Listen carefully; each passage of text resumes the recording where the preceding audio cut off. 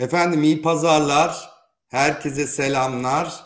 Ee, bugün Paramedya TV'nin gönül dostu, neredeyse tam zamanlı yorumcusu olan Sait Ürünlü ile birlikteyiz. Benim için de Sait abimdir her zaman. Tanımayanlar için kısaca kim olduğundan bahsedelim. Kendisi bir iş insanı, ekonomist, ayrıca çok önem verdiğim şekilde TED Ankara Koleji mezunu abilerimizden. Sait abi Hoş geldin. Nasılsın? Merhaba. Merhaba. Çok teşekkürler. Sen nasılsın? Çok iyiyim. Çok mersi. Çok sağ İyiyim Sait abi. Direkt konuya gireceğim. Ee, borsa deyince akla gelen e, iki elin parmaklarından birisin. E, uzmanlığınla da gerek sosyal medyada e, gerekse de Paramedya TV'de yatırımcılara ışık tutuyorsun. Gerçekten artık binlerce kişi e, sızlanma evresinden bunalma evresine yavaş yavaş geçiyor. Borsa adeta e, sabırla e, ve e, sinirle oynamaya başladı. Sait abi direkt şu soruyla başlıyorum. Yabancı rekor satışı niye yaptı, nasıl yaptı, nasıl değerlendiriyorsun? Çok teşekkür ediyorum. Herkes merak ediyor. Evet. Ben bir e, çalışma yaptım. Aslında bir e, küçük bir analiz diyebiliriz. E, bu yabancının satışı e, baktığımız zaman e, takas verilerine inanıyoruz. Merkezi Kayıt Kuruluşu'nun verilerine. Buna göre iki majör hissede e, borsamızın en büyük market cap'li en büyük iki hissesinde yoğunlaşıyor. Şimdi bir iki, e, dört tane rakam vereceğim size. Bakın Temmuz 2019'da dünyanın önce şuradan başlayalım istiyorsanız dünya üzerindeki servetin Toplam miktarı 2024'ün ocağına göre 454 trilyon dolar.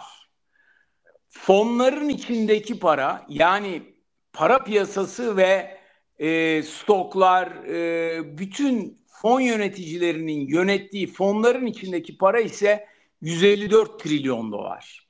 Ve bu 154 trilyon doların 8 milyar dolarını bir fon, 10.2 milyar dolarında bir fon yönetiyor. Düşünebiliyor musunuz? Dünya üzerinde 154 trilyon dolarlık şey var, aset var ve bunun 20 trilyon dolarına yakını iki fonda. Bunun bir tanesinin adı BlackRock, diğerinin adı ise Vanguard. Ve çok ilginç Vanguard ve BlackRock da birbirine ortak. Vanguard'ın bir kısmı BlackRock'ın, BlackRock'ın bir kısmı da Vanguard'ın. Şimdi bunu niye anlattım? Çünkü Temmuz 2019'da BlackRock geliyor. Amerikalı bir fon BlackRock ve Türk Hava Yolları'nın yüzde 5.06'sını bastırıyor parayı alıyor. Bakın Temmuz 2019. Şimdi bizde e, kamuya aydınlatma platformunda şöyle bir sıkıntı var. Yüzde beşin üzerindeyseniz yaptığınız her hareketi bildirmek durumundasınız. Yani bir not bile alıp satsanız bunu bildirmek zorundasınız. BlackRock Temmuz 2019'da bize diyor ki ben Türk Hava Yolları'nın %5.06'sına sahip oldum. Sonra Ağustos 2019'da ben diyor %5'in altına düştüm ve %4.96'ya düştüm diye de açıklama yapıyor. Yani %6'ya yakın bir miktarını satıyor. Bu inanılmaz bir rakam. Türk Hava Yolları'nın yüzde beşi dediğiniz zaman çok ciddi bir rakama ulaşırsınız. Yani böyle aşağı yukarı 20 milyara yakın, 20 milyar TL'ye yakın bir rakam var ortada. Şimdi bunu bir kenara koyalım. Aynı fon yine BlackRock Aralık 2020'de geliyor. Bu sefer Koç Holding'in TÜPRAŞ'ını satın alıyor. TÜPRAŞ'ın da %5.02'sini satın alıyor. Yine bunu kapa bildiriyor.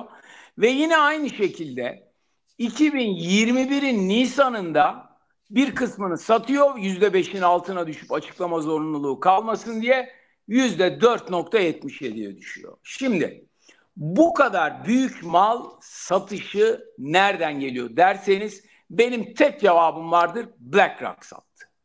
Çünkü satışlar Türk Hava Yolları ve TÜPRAŞ'ta yoğunlaşıyor. Baktığınız zaman satışların Türk Hava Yolları ve TÜPRAŞ özelinde olduğunu görüyorsunuz. Ama bu şu demek değil. Türk Hava Yolları ve TÜPRAŞ evet fiyatları çok aşağıya gelmesine rağmen maalesef e, maalesef şöyle söyleyelim yani fiyatların aşağı gelmesi kötü ama burada yabancı yatırımcının bir kısmını karşıladığını bir kısmının da Türk fonları tarafından ve Türk yatırımcısı tarafından karşılandığını biliyoruz bu satışlar.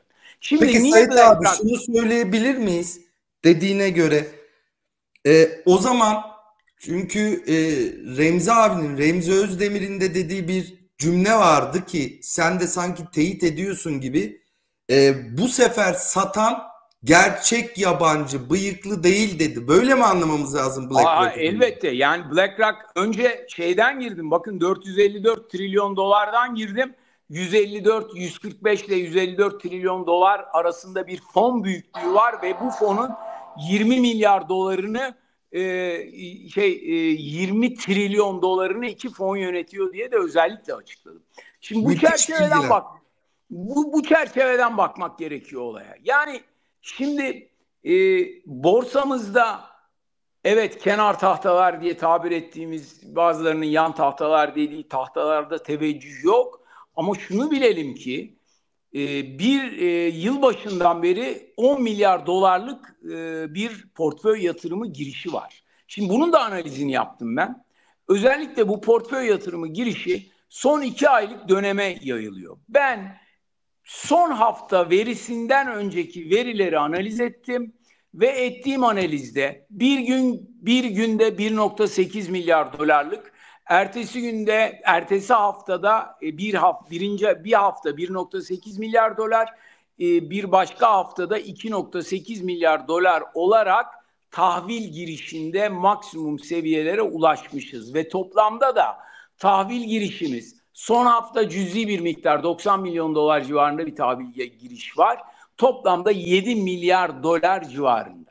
Şimdi net nette baktığımız zaman eğer dün Merkez Bankası Başkanı'nın verilerini doğru kabul edersek 10 milyar dolar civarında bir giriş söyledi. Bunun 3 milyar dolarının da borsaya ve swaplara geldiği de aşikar. Ne kadarının ne olduğunu takas analizi yaparak elde etmek mümkün ama ben bilirsin ki ben takas analizi konusuna fazla inanan bu konuda da çok çalışma yapmış birisi değilim. Yani dünya üstünde bir sürü ülkede trade ediyoruz ama sadece Türkiye'de bu takas analizi filan gibi unsurlar var.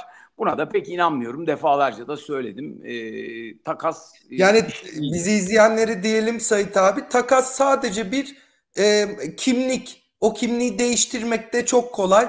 Kişi aynı olabilir, kimliği farklı olabilir. Yani dolayısıyla elbette, elbette. hiç yani e, takasla ilgili olan e, şöyle söyleyelim takasın bizim yatırım kararımızı etkileyecek bir unsur olmadığını düşünüyorum. Benim açımdan böyle. Ben naçizane takasta tek şeye bakıyorum.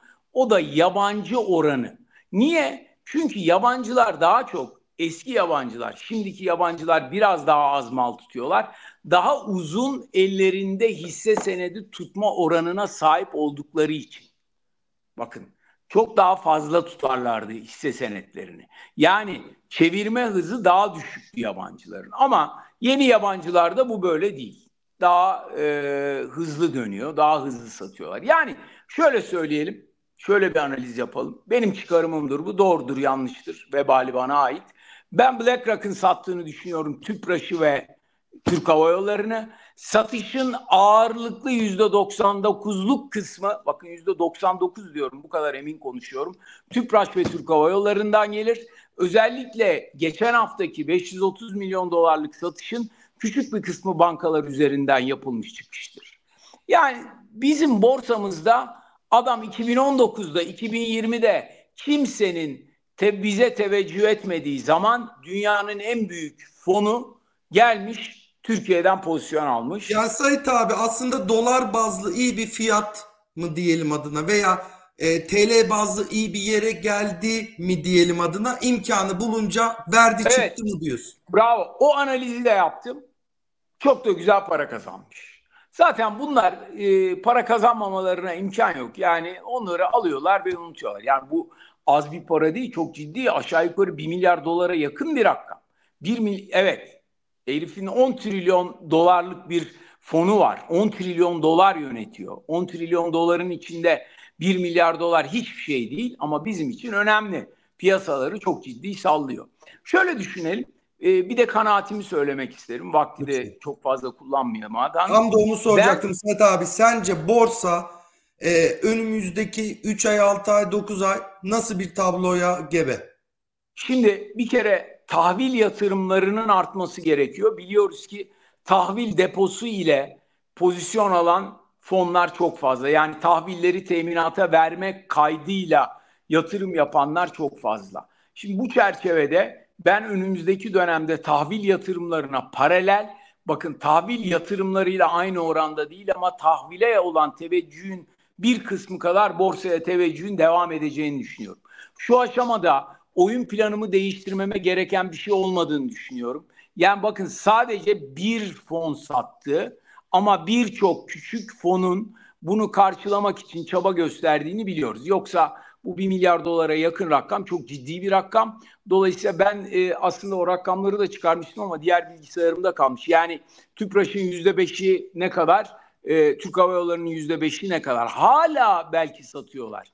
Bunu bunu e, analiz etme imkanımız yok çünkü Merkezi Kayıt Kuruluşu'nun verilerine sahip değiliz. Sadece takastan yabancı çıkışı olduğunu görebiliyoruz. Bunu gören başka yatırımcılar da çıkıyor olabilir ama bazılarının aldığını da çok iyi biliyorum ben. Şimdi bu çerçevede şöyle düşünelim. Diyelim ki ne olabilir? Ben bir trader olarak şunu düşünürüm. Benim dediğim şu. Abicim satmış adam artık. Bundan sonra bence artık almaya gelirler. Benim kanaatim budur. Ama hangi vadede almaya gelirler? Onu bilmiyorum. Bu piyasa biliyorsunuz ki sen de çok iyi biliyorsun. Benim en sevdiğim piyasa.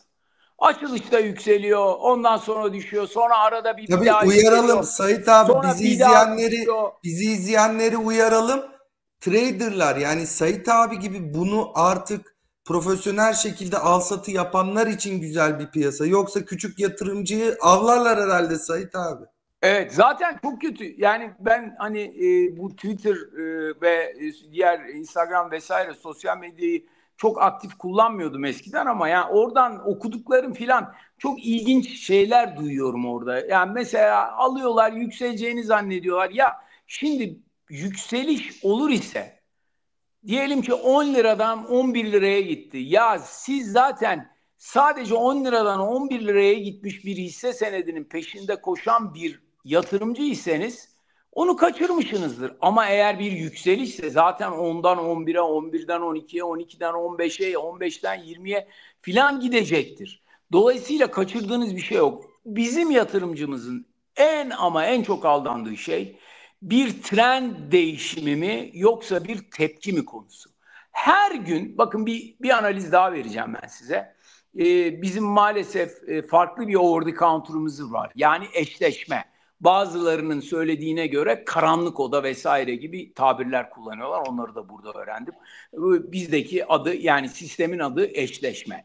Eşleşme seanslarında satı, e, kapanış eşleşmeleriyle açılış eşleşmeleri arasında mutlaka fark oluyor. Son iki aylık bir analizim var benim. Kapanış eşleşmesinde alınan her mal açılış eşleşmesinde para kazandı. Çok ilginç değil mi? Çünkü İnsanlar gün içi trade etmeyi çok seviyorlar. Ve kapanış eşleşmesine maalesef herkes dönüyor mallarını satıyor. Üçüne beşine bakmıyor. Dönüyorlar açılış eşleşmesinde yine üçüne beşine bakmadan fiyatsız olarak mal alıyorlar. Dolayısıyla kapanış eşleşmesinde mal alıp açılış eşleşmesinde mal satmak son birkaç aydır her gün hemen hemen para kazandırdı. Çünkü illa borsa böyle bir küçük bir yükseliş çabası içine giriyor. Çünkü biliyoruz yeni bir ekonomi düzenimiz var. Daha rasyonel bir şeyler yapıyoruz. Yabancı teveccüh gösteriyor. Ee, e, FX swap yani Londra swap piyasasında küçük hareketlenmeler var. Tahvile teveccüh var ve döviz fiyatında hiç ciddi bir hareket yok. Bunların hepsi e, önümüzdeki dönemde e, bize pozitif yansıyabilir diye düşünüyorum. Ama hangi vadede dersen bu beni çok ilgilendiren bir şey değil. Tahvile ben giriş düzeyi burada bize tahvile giriş düzeyi burada bize önemli bir sinyal verir diye düşünenlerdenim ben Sait abi. Evet, Mutlaka ben 15-20 15-20 milyar doları görmesi gerektiğini hatta bu 20 milyar doların da bir evet. 5 milyar dolarının 5 yıllıklarda falan pozisyon alması gerektiğine inananlardanım rahat etmek için. Evet yani e, tabii başlangıç önemli. Yani 7 milyar dolarlık bir tahvil satmışsınız çok önemli değil gibi dursa da yani herkes diyor ki 7 milyar dolarlık tahvil satmışız 10 milyar dolarlık neyse işte ne kadarsa ama 60 küsür milyar dolarlık rezerv iyileşmesi nasıl oldu diye. Buna evet. da bir dem vuralım istersen. Şimdi şimdi onu soracaktım. Ha. Yani şimdi Şimdi şöyle Sait abi bu soruyu şununla bağlamam lazım. Borsayı kapatıp müthiş bilgiler verdin. Manşeti de attırdın bana. BlackRock, BlackRock, THY ve Tüpraş sattı manşetini. Bugüne sayende koymuş olduk. Ee, Sait abi şimdi tabii e, bizim istediğimiz yani bu yabancının çıkışını Eylül-Ekim gibi vade, carry trade, borçlanma vadeleri geldiğinde çıkışın önlenmesini anlayacağımız yer e, mevduattan yabancının tahvile geçiyor olması. Tabi bu carry trade ile de gerçi Fatih Karahan dedi ki 1 bölü 3'ü carry trade 1 bölü 3'ü yerli tasarruf sahibi 1 bölü 3'ü e, doğrudan e, e, yabancı bankalarla Merkez Bankası üzerindeki swap dedi ama bana çok da inandırıcı gelmedi. Niye gelmedi dersen Sait abi ben mevduat içerisinde e, yabancı para pozisyon yani dolarizasyon azalışını takip ediyorum ve bence istenen hızda kesinlikle gitmiyor ve orada bir risk unsuru olmaya devam ediyor. Sait abi soruyu direkt sorup tüm yönleriyle sana bırakacağım ki sen e, yaptığımız programda doların reel olarak artmayacağında benle uzlaşı kaldın. Nominal olarak da azalış göreceğiz dedin. 30'un altına sarkabilir dedin. Ve buradan da herkese söylüyorum. Merkez Bankası çılgınca girmeseydi altına Sait abi 30'un altına getirirdi.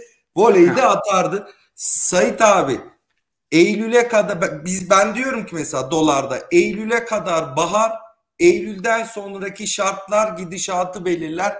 Sen dolardan ne diyorsun Sait abi? Ya şimdi benim döviz konusundaki fikrim sabit.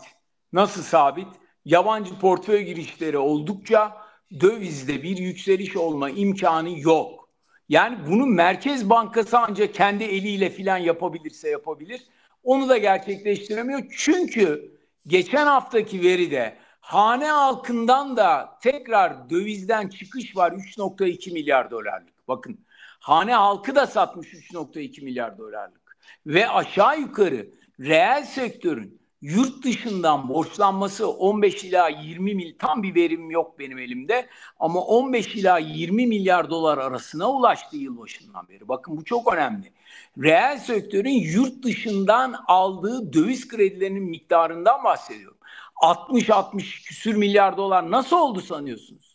Sayın Karahan'ın açıklamadığı bir, bir, bir nokta var. Bunu bu, burayı kaçırmışım ben. Yani reel sektörün dışarıdan aldığı borç adam getiriyor burada bunu dolardan hep hepimiz kurtulmaya çalışıyoruz. Ve dolardan yani dövizden kurtulmaya çalışıyor.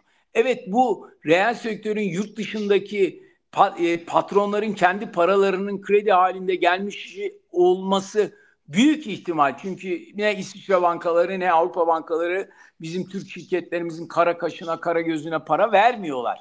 E bunları biliyoruz ama sonuçta gelen para döviz ve bu dövize ihtiyacımız var. Ben dövizin önümüzdeki dönemde bizim faizle ilgili düşürmemizin başladığı süreye kadar buralarda seyredeceğini ama nominal açıdan da düşüşün kaçınılmaz olduğunu düşünüyorum. Yani 30'a doğru bir gidiş, 30'un altına bir sarkış eğer bu şekilde portföy yatırımlarına giriş ve e, swap'la bile gelseler bu bu şekilde devam edecek diye düşünüyorum. Sait abi carry trade'de geri dönüş yani hızlı dolar çıkışı riski görüyor musun? Hayır, hayır böyle bir şey yok. Gelmediler ki ya. Ya gelmediler ki.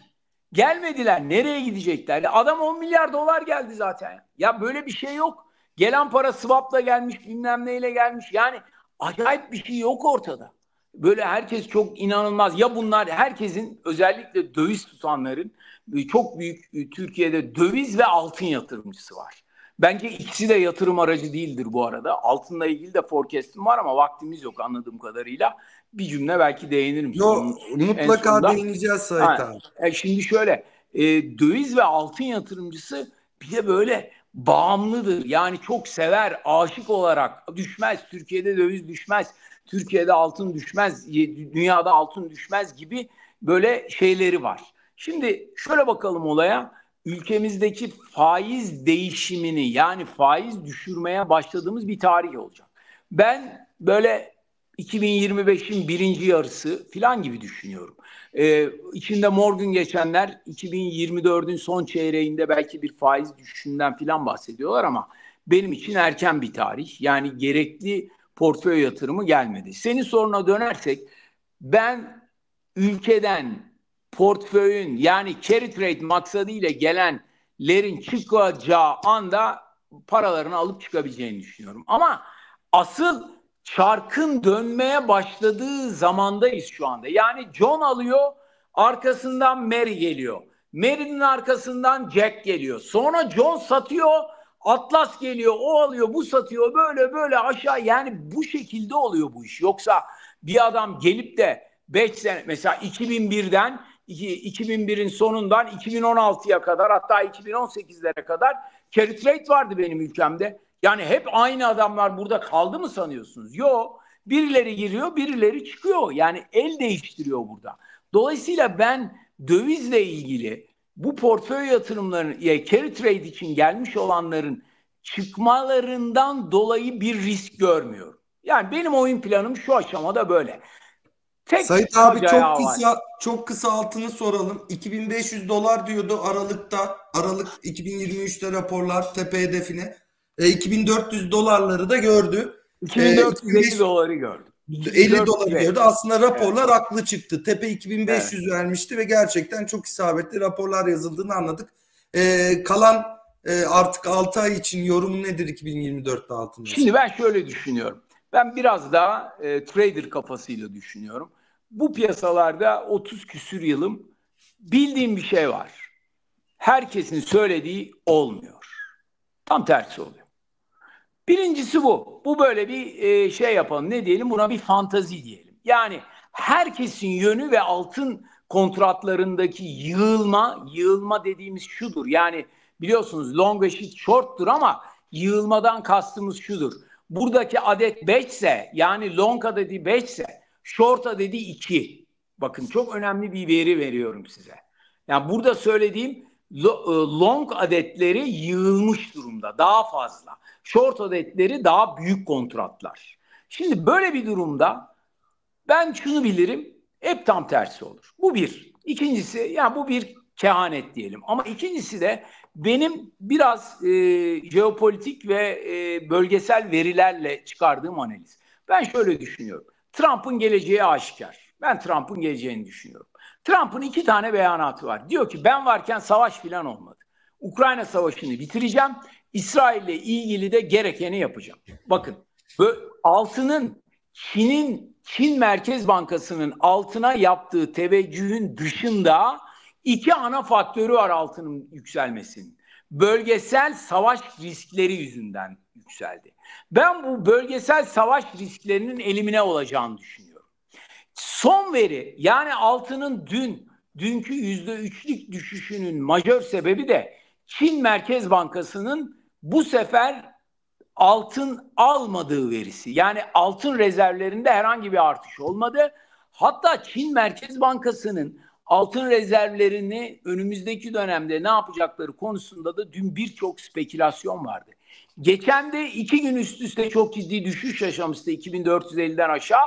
Orada da İngiliz Merkez Bankası'nın satışı vardı. Şimdi bütün bu çerçevede baktığımız zaman benim altınla ilgili forecast'im 2000'lere yaklaşacağı açısından. Herkes ben böyle söyleyince bombalıyor. Bu bir Çok tepki görürsün. Ha, Seni doğrarlar yani, Sait abi doğrarlar. Bombalıyorlar. Bombalasınlar. Abi bu benim tahminim. Tutmayabilir. Tutmayabilir. Evet ben kendi pozisyonlarımı altına short olarak 2400'ler civarından beri sürekli arttırarak short olarak götürüyorum. Ama bu şu demek değil. Yani ben bir trader'ım. Altını kapatırım, tekrar açarım, donk yaparım, kısa yaparım. Yani bu ben uzun vadeli bir e, şey söyledim size. Ben başka bir forecast'te bulunayım, başka bir tahminde bulunayım. İngilizce söyleyince de kızıyorlar.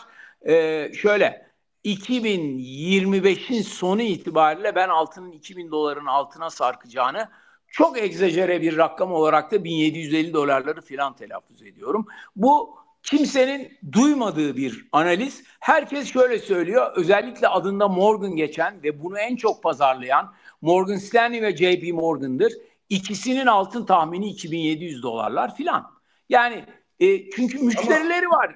Çok önceden yaptılar bu tahminleri. Ha, Sayın yani, abi e, koruyorlar da. E, evet, ya e, elbette. Ben bir şey demiyorum. Ben, bu benim analizimin iki tane sac ayağı var söylediğim gibi. Bir tanesi konjüktürel durum e, ve e, harp riskleriyle ilgili azalma durumu. İkincisi de Çin Merkez Bankası'nın artık altına teveccüh göstermeyip altın almaması. Çin'in altını almaması işleri çok değiştirir. Bunu unutmayalım. Tabii Sait abi orada biraz da BRICS var. BRICS de belirleyecek gibi. Bu dijital parayı altına dayalı dijital rezerv parayı çıkarabilecek mi? Orada önemli bir faktör. Evet. İzleyip göreceğiz. Evet. Hemen hemen enerjiye geçmek istiyorum. Biliyorsun e, Amerika özellikle doğal gaz, LNG veriyor Avrupa'ya. Kendi stoklarından da gidiyor. E, Avrupa'ya petrol tankerlerini arka arkaya gönderiyor. Bu da Brent fiyatında 82 e, dolar ortalamasını 80 dolar ortalaması 2024'te karşılayacak gibi bu durumda Türkiye'nin e, cari açığına çok olumlu yansıyor. Çünkü enerji fiyatları evet. dünyada artmıyor. Sence enerji fiyatlarından ne bekliyorsun 2024'ün kalan 6. ayında? Şimdi ben enerji fiyatlarında bu trendin devamını bekliyorum. Ama bunu aslında başka bir yere bağlamak gerekiyor. Enerji fiyatlarının yukarıya gitmemesi enerji fiyatlarını yani borsadaki enerji şirketlerine bakışı da değiştirir diye düşünüyorum. Buradan enerji hisse senedi yatırımcılarına da seslenmek gerekiyor. Forecastlerini ona göre, bütün ileriye dönük tahminlerini ona göre yapmaları gerekiyor. Ben enerji fiyatlarının e, evet e, hatta yani bu konuda da çok keskin e, petrol konusunda da çok keskin fikirlerim var ama yani şunu düşünün en büyük petrol üreticilerinden bir tanesinin e, Cumhurbaşkanı şey oldu kaza geçirdi vesaire o zaman bile e, gördüğü yerler çok e, e, absürt yerler değildi hemen geri geldi yani. E, Dolayısıyla önümüzdeki dönemde ben petrol fiyatlarının da aşağıya geleceğini düşünüyorum. Yani Amerika'da tabii bunu çok uzun bir program yapabiliriz. Amerika'da o kaya gazı şeyi var mesela e, o Shell e, şeyi. O çok önemli bir e, alternatif biliyorsun kaya gazı. Yani dolayısıyla Amerika'daki kaya gazı stokları falan da çok yüksek. Ya yani bu başka bir e, çok uzun bir e, programın şeyi. Yani özel şeyin bu e, araştırma konum diyelim bu e, e, benim analizim vardır bu konuda şeyle ilgili e, Amerika'daki kaya gazı stokları vesaire ile ilgili çok ciddi bir alternatiftir. Çünkü enerjiye e, enerjinin türevlerinden bir tanesi.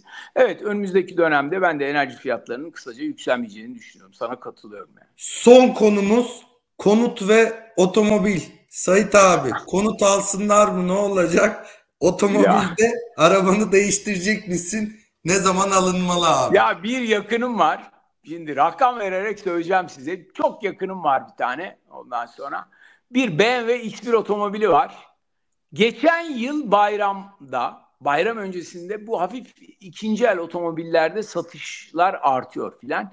Geçen yıl bayram öncesi otomobiline 2000 pardon 1071 milyon 75 bin TL teklif edildi ve satmaya karar verdi. Fakat o gün bir sağlık sorunu sebebiyle satmadı. Otomobil aşağı yukarı 4 aydır ilanda. Bakın aradan bir seneden fazla geçti belki. Birinci bayramdı çünkü benim söylediğim. Geçen yılki birinci bayram benim size söylediğim. Şu anda 1 milyon 25 bin liraya aynı otomobili satmaya çalışıyor. 970 bin, 980 bin, 950 bin çok yakınım. O çok da iyi takip ediyorum. Hatta diyorum ki bugün bu fiyata vermezsen belki seneye bayramda bu fiyata belki yine aynı şekilde verebilirsin. Buradan da hoş bir şekilde anlatmış olayım. Yani başımıza gelen bir olay olduğu için.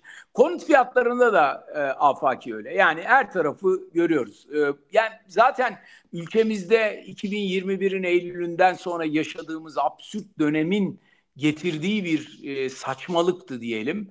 E, bu fırsatı yakalayanlar mutlaka olmuştur elindeki e, konutları, otomobilleri falan çıkaranlar. Yani 1 milyon liranın da biliyorsunuz aşağı yukarı ayda 50 bin liraya yakın da bir faizi var. Yani arabanın demin size söylediğim otomobilin 3 aydır kaldığını varsayarsanız eğer 1 milyon liraya 3 ay önce satmış olsaydı benim yakınım şu anda 1 milyon 150 bin lirası vardı. Arabayı 1 milyon 150'ye satmıştı. Bu da doğru bir şey değil. Ben bunun da slop halinde yavaş yavaş faizlerde bir düşüş bekliyorum. Zaten başladı hafif. Ama e, önümüzdeki dönemde konut ve otomobille de ilgili herhangi bir e, fiyatlarda yukarıya doğru bir gidiş beklemiyorum. Bilakis aşağıya doğru bir e, hızlanmayı hızlanacağını da düşünüyorum. Çünkü biz ekonomik olarak bir daralmaya doğru gidiyoruz. Bunu yapmaya çalışıyor şu anki ekonomi yönetimi. Ne kadar doğru yine başka bir programın şeyi. Yani biraz büyümeden ne kadar fedakarlık edilebilir?